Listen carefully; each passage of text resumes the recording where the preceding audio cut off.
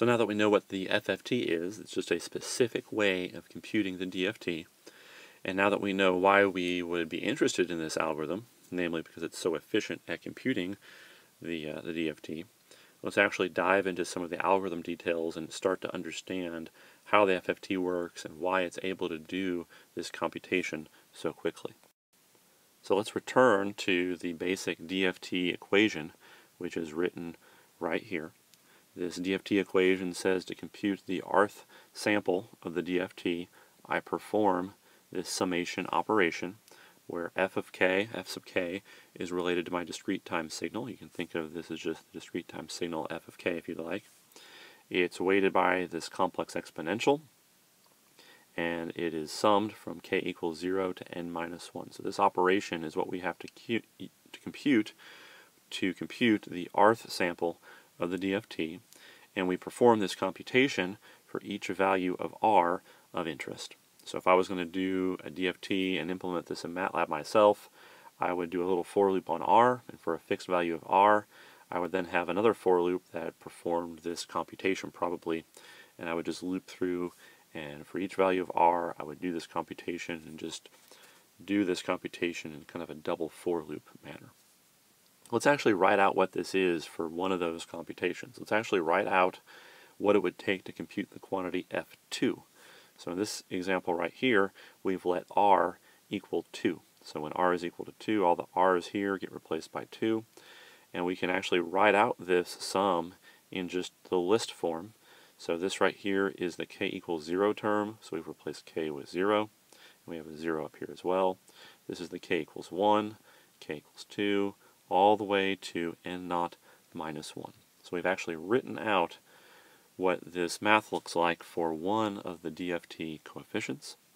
And by looking at this now, we can see what it takes to do this computation. This term has a complex multiplication. I have this f0 times this complex exponential.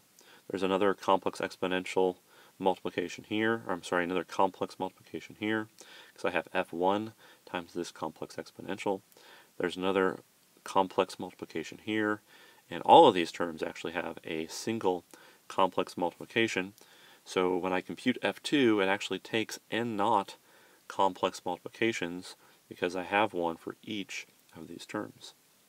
Similarly, I have additions going on. There's an addition here, and an addition here, and an addition here. There's basically a complex addition between each one of these terms. So when I go and I compute f2, I need n naught minus 1 complex additions to perform this operation. So to compute f2, I have to do n naught minus 1 complex additions and n naught complex multiplications. But f2 isn't the only thing I need to compute. I also need to compute f0 and f1 and f3 and f4 all the way up to n naught minus 1. So let's think about that. If I have to do this same type of complex additions and same number of complex multiplications for each term of my DFT, f0, f1, f2, all the way up to f n naught minus 1, I can now tally up the total number of complex multiplications and complex additions for doing the entire DFT computation. There are n naught of these that I need to do, so I have n naught computations to do, each of which takes n naught complex multiplications. So that's n naught times n naught, or n naught squared, complex multiplications. Similarly, I have n naught of these computations I need to do, each of which required n naught minus 1 complex additions. So there's a total of n naught times n naught minus 1 complex additions that I need to perform. When we do analysis of the order of operations, if I was to multiply this out, I would have n naught squared minus n naught. Typically, we only care about the order of operations for large n. When n is large, n naught squared minus n naught is approximately n naught squared. So for large n, I need n naught squared complex multiplications, and I need n naught squared complex additions. So this is why a kind of brute force implementation of the DFT is said to have complexity n naught squared because I need about n naught squared total number of operations.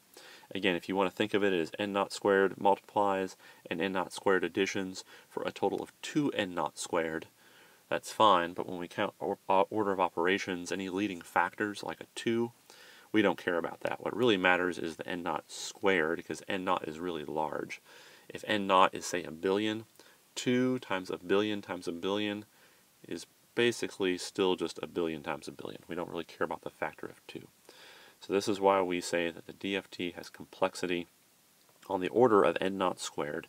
So as n gets large, the number of operations goes up with the square of n.